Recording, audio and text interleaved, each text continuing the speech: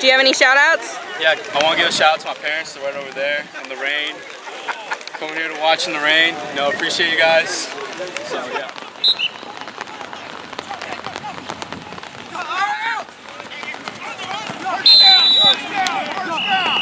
Feel the tournament went.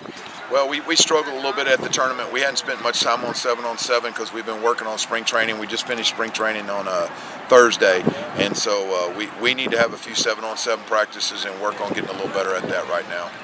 Do you have any shout outs? Yeah, I'd like to just shout out to all the Maverick football fans.